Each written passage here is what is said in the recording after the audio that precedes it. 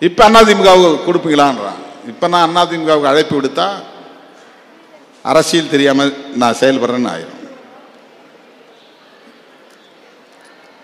முதல்ல முதல்லயே சொன்னேன் திமுக உடன்பட்டு அறிவிப்பு செய்து விட்டது. எழுத்துப்பூர்வமாக நாம் யாருக்கு எந்த கட்சிக்கும் அழைப்பு கொடுக்கல. ஒரு பொதுவான அறைகூவல் தான். கொடுத்த கோரிக்கை மனுவில் இந்த தேசிய மதுவிலக்கு கொள்கை தொடர்பாக நீங்க பேசணும். தமிழ்நாட்டு அரசுக்கு அந்த கோரிக்கை வச்ச நாலு கோரிக்கை. இந்திய அரசுக்கு அந்த கோரிக்கையில் என்ன வச்சேன்னு சொன்னா இந்திய அரசுக்கு ரெண்டு ரெண்டு கோரிக்கை இருக்கு. தமிழ்நாடு அரசுக்கு ஒரு கோரிக்கை இந்திய அரசுக்கு ஒரு கோரிக்கை.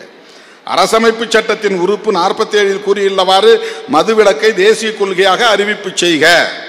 மதுவிலக்கை நடைமுறைப்படுத்த முன்வரும் மாநில அரசுகளுக்கு வருவாய் இழப்பை ஈடு செய்ய சிறப்பு நிதி வழங்கு. போதைப்பொருள் நடமாட்டத்தையும் பயன்பாட் பயன்பாட்டையும் கட்டுப்படுத்த உறுதியாக நடவடிக்கை எடு. அப்படின்னா நீங்க அதானியே கைது செய்ய வேண்டி வரும். மோடி நண்பர். அதானிக்கு போதைப்பொருள் புழக்கத்தில் தொடர்பு இருப்பதாக ஊடகங்களில் செய்தி வெளியே வந்திருக்கிறது. அவங்க ஏர்போர்ட் வழியாக பொருள் வந்திருக்குது அவங்க போர்ட் வழியா சி போர்ட் வழியா பொருள் வந்திருக்கிறது. ஆங்கில ஏடுகளில் அந்த செய்தி வந்திருக்கிறது. நானே மக்களவையில் அதை பற்றி பேசியிருக்கிறேன்.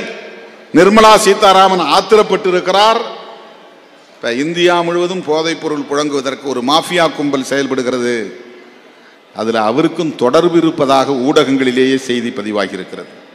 அவருக்கோ அவருடைய குழுவினருக்கோ அல்லது எந்த குழுவினருக்கோ ஆனால் அவருடைய பெயர் அதில் அடிபடுகிறது. பெரிய பெரிய மாஃபியா இல்லாமலாம் இந்த மாதிரி கஞ்சா பிரவுன் சுகர் கோக்கைன் ஹெராயின் இதெல்லாம் வந்து வெளியில வர முடியாது. பல லட்சம் கோடி அதுல புழங்குகிறது. ஆல்கஹால்ல எப்படி பல லட்சம் கோடி புழங்குகிறதோ அப்படி போதைப் பொருட்களில் பல லட்சம் கோடி புழங்குகிறது. எனவேதான் நூற்றுக்கு முப்பது சதவீதம் உழைக்கிற மக்கள் இதனால் பாதிக்கப்படுகிறார்கள். லட்சக்கணக்கான குடும்பங்கள் இதனால் சீரழிந்து கொண்டிருக்கின்றன. லட்சக்கணக்கான விதவைகள் நடுத்தெருவிலே நிற்கிறார்கள். அவமானங்களுக்கும் அவமதிப்புகளுக்கும் அவதூறுகளுக்கும் ஆளாகிறார்கள்.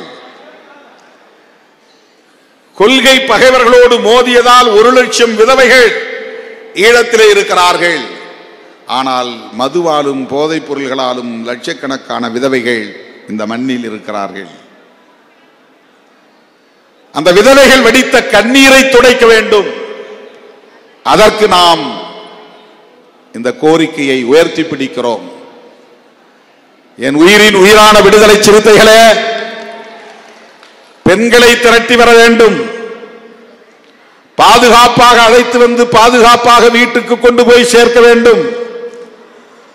வருகிற போதே அவர்களுக்கான உணவு குடிநீர் உள்ளிட்டவற்றை இப்போதே நீங்கள் ஏற்பாடு செய்து கொள்ள வேண்டும். வழியில் போகிற வழியில் வருகிற வழியில் கடைக்கண்ணிகளில் நின்று சாப்பிடுவது என்கிற எண்ணத்தை முற்றாக கைவிட வேண்டும்.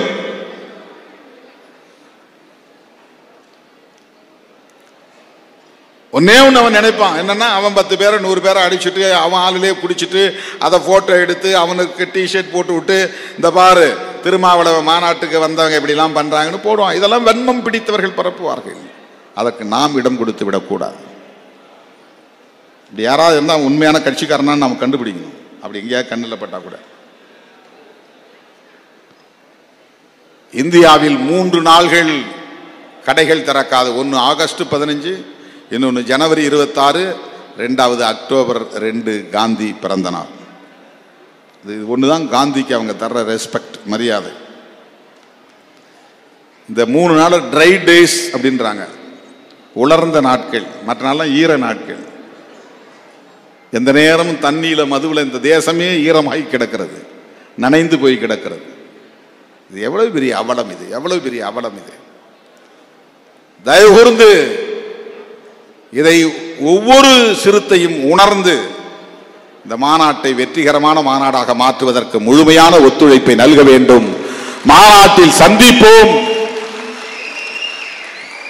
மதுவை ஒழிப்போம் மனிதவளம் காப்போம் என சொல்லி இந்த வாய்ப்புக்கு நன்றி கூறி முடிக்கிறேன். நன்றி வணக்கம்.